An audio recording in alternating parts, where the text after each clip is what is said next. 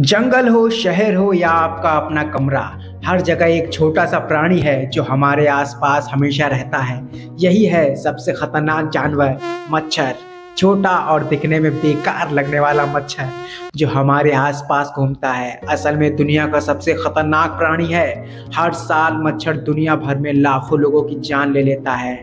बल, बस अपनी एक छोटी सी काट के ज़रिए, आपको शायद पता नहीं लेकिन इसके काटने से कई बीमारियाँ फैलती हैं। इसके जहर में मलेरिया, डेंगू और जीका वायरस जैसे वायरस होते हैं, जो अपने शिकार को ज़िंदगी भर के लिए बीमार बना देते हैं। हर साल मच्छर से होने वाली बीमारियों की वजह से लाखों लोग अपनी जान खो देते हैं। ये छोटा सा प्राणी अपने छोटे से साइज़ के बावजूद दुनिया का सबसे खतरनाक जानवर है। W H O means world health organization, मच्छर के मुताबिक मच्छर हर साल दुनिया में सात लाख से ज़्यादा मौत की वजह बनता है।